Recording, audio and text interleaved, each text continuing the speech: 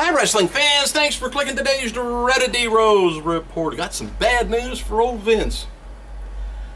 And I tell you, if Vince would actually not depend on the yes men to come to him and tell him what the problem is, ask us. And I really mean talk to us. Not just the people in the media or whatever, just us wrestling fans. We can help. We will tell him. He may not want to hear it, but we can tell him. But Monday's Christmas themed episode of Raw featuring John Cena taking on Del Rio on a Miracle on 34th Street fight and the Santa injury angle uh, drew a 2.2 cable rating, which marks the show's lowest rating of 2012 and in over 15 years. The last episode to draw uh, a figure that low was September 8th, 1997, which featured uh, Tri- Triple H taking on, uh, well, Savio uh, Vega, I guess, uh, versus the trip, uh, the Patriot in a, I must have been a triple threat, I guess, and that was the main event. But of course, it's going to be down because of Christmas season. But you look back Christmas season to Christmas season, and it's um, just ask. We would love to help. And as reported earlier, Raw averaged about 3.1 million viewers over the course of the two hours, down from 4 million 200,000 uh, the week before. Uh, and it drew a uh, 2.9 cable rating. Anyway, hour one drew about uh, 2.94 million viewers. Uh, hour two drew about 3.2 million viewers, and now uh, that was hour, hour two. Hour three drew about 3.2 million. Just, we would like to have a better Raw also. Well, well anyway. Uh, this week's episode of JBL and uh, Cole Show is now online and is featuring appearances by multiple guest stars this time. The synopsis reads uh, Okay, so JBL uh, doesn't actually uh, fire Michael Cole, we think. But uh, the week's episode is jam packed with stars. They've got John Isner, talks to greatest superstars of all time. That's a tennis player. Great Khali learns to tweet and Yoshitatsu learns to tout. And oh yeah, Mean Gene Okerlund's on there. Uh, I've never watched this. I don't know. You know, they concentrate too much on the, on the damn network and on this silly stuff here. Put some that much concentration into your uh, weekly shows. I'm getting mad now. Alberto Del Rio and uh, Ricardo Rodriguez signed autographs today at the Boost Mobile, Chicago, Illinois, uh, 3 to 5 p.m. And uh, there's some uh, some more notes from last night's Raw, Madison Square Garden. I was telling you about this. It was a big show. But anyway, the box office was open for one hour uh, after the show with uh, WWE Hall of Fame tickets going on sale, and there were huge lines, I guess, there. And some names in attendance at ringside and other places was Betty Scaglin and uh, Phil Collins, singer, DMC of Run DMC, uh, Big O and Zack Ryder's dad and Paul Heyman's family was also in attendance, and the show uh, was ran backstage by Michael P.S. Hayes and the wonderful H's John Laurinaitis. So now we know what he's doing, running a show every once in a while.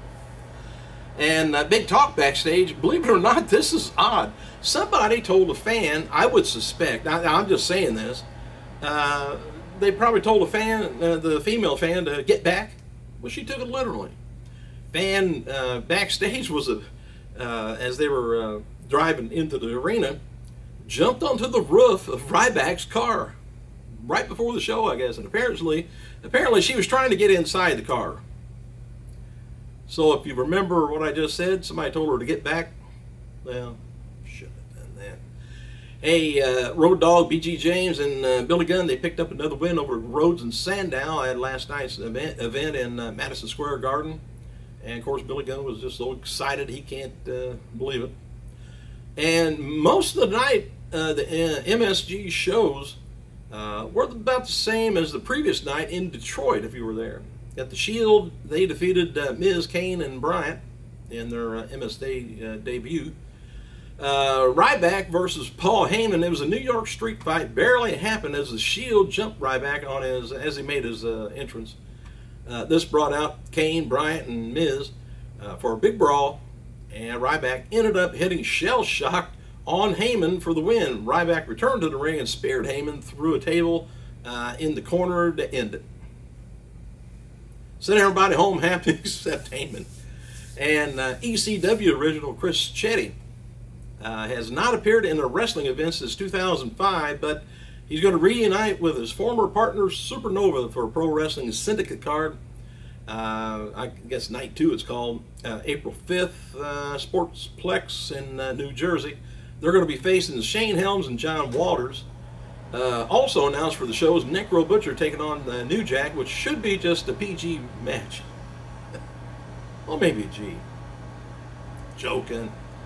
Uh, La Parka taking on John Morrison, plus a special guest appearance by superstar Billy Graham and Bret Hart. Jamie Noble, remember him? He got a knee, uh, uh, gave, um, who was that? Chavo, think, a knee to the head, about knocked him out. Uh, oh, wait a minute. Who was that? Well, anyway, let me get on with this. Uh, Jamie Noble, who's been uh, working as a uh, WWE producer, made uh, one night only return last night's SmackDown live event in Green Bay, Wisconsin. He lost to Fandango. Uh, trying to remember who that was. Oh, it was Billy Kidman that landed on um, uh, Guerrero's head, knocked him out. All right, Kofi Kingston, Alicia Fox is going to be appearing at uh, Southdale Center uh, in Minnesota today, 3 p.m. to 5 p.m. Hornswoggle and his family and friends uh, were in the crowd at last night's SmackDown in uh, Green Bay.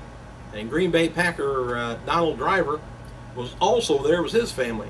And while injured, WWE uh, champion CM Punk is taking time off this week as he uh, has not been at the holiday events, I guess. But Punk was at a concert last night while WWE were at Madison Square Garden. I don't know how that goes over. But anyway, former WWE and uh, WCW superstar. I ain't going to say superstar, I'm not going to say too much about him, except he's stopping his brother Randy Poff, uh, uh, Macho Man Randy Savage going into the Hall of Fame is Lanny Poffo. He turns 58 years old today. And TNA knockout uh, Taryn uh, Terrell turns 27. I'm just bitchy that he, uh, Lanny, says he's done what his uh, brother, Macho Man, wants. Is his whole family to go in the Hall of Fame or nobody. All right, the latest from the Shields, uh, Seth Rollins, is he says, uh, Justice lives in our hearts and we will not be held down another second. Believe in righteousness and hope and WWE's got the following matches for tonight's SmackDown. It's Brodus Clay taking on Epico, um, Sandow, Rhodes, and Barrett taking on uh, Kane, Bryant, Kingston. Uh, is going to be taking on Cesaro, and Miz taking on Ziggler. Those two are usually have a pretty good match. They're good wrestlers.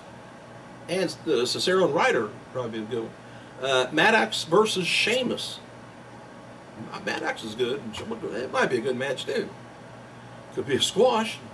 Usos taking on uh, Titus O'Neil, uh, Darren Young for the 102nd time. Big Show's going to be defending his world title against Superstar, uh, who has his name picked at random from a tumbler. I don't know who the tumbler is, but uh, next year's uh, Hall of Fame induction is going to be taking place Madison Square Garden, New York City. The company plans to pay homage to the, the famous in that area, and they've been wanting to do this, but I'll read it to you anyway, see how far we can get. Besides Mick Foley likely to be enshrined, there's discussion of Dwayne The Rock Johnson, the Nasty Boys, of course, Sags and uh, Knobbs, and Harlem Heat, Booker T and Stevie Ray being inducted. And according to the F4W Online, Johnson made his debut at the famous arena in uh, 1996, while Harlem Heat was a New York-based gimmick, even though they're from Texas. That's, that's close. Anyway, uh, in the case of the Nasty Boys, who hails from Allentown, Pennsylvania, the two were billed from the streets of New York City during their time in World Championship Wrestling, uh, which is probably before they got a paycheck in wrestling. Uh, company officials would also like to do the enshrining, of course, Owen Hart, which we got Martha Hart still up in the air, but uh, who defeated uh, Bret Hart at a memorable WrestleMania match at Madison Square Garden in 1994, despite the push for Owen, the enshrinement is unlikely due to materializing of the widow would not allow it. Uh, Hart's brother Smith reveals on Twitter earlier this year uh, because she blames the wrestling industry and its entirety for his death. If he got killed in a car wreck, do you just go after every car that's made? Uh, maybe I'm looking at it wrong.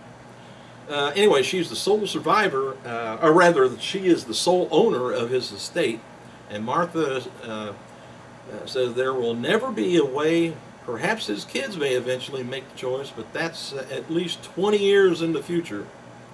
Or do we have something? I don't think Owen would go for that either. I really don't, man.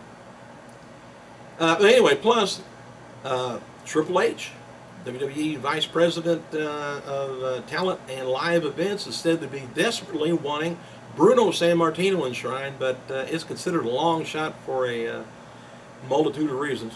Although WWE is tempted uh, to distance themselves from Chris Benoit, now catch this. No, I'm not talking about Hall of Fame. Uh, but, you know, because the way his career ended in um, 2007. Recently, WWE released an encyclopedia again, and it features a sizable entry on the late wrestler, believe it or not. And according to F4W Online, this move has many people in WWE baffled with uh, his entry taking up more than half a page. So, anyway, the bio not acknowledges uh, Benoit uh, emulating the Dynamite Kid after seeing, uh, you know, compete uh, when he was uh, 12 years old and uh, training at Stu Hart's famous dungeon, uh, wrestling all over the world, making a name for himself at WCW before jumping to WWE, and fulfilling his destiny. Uh, he captured the World Heavyweight title at WrestleMania 20 in a triple threat match against uh, Triple H and Shawn Michaels, and there was no acknowledgement of the double murder and suicide, although they addressed his past, you know, uh, uh, accomplishments.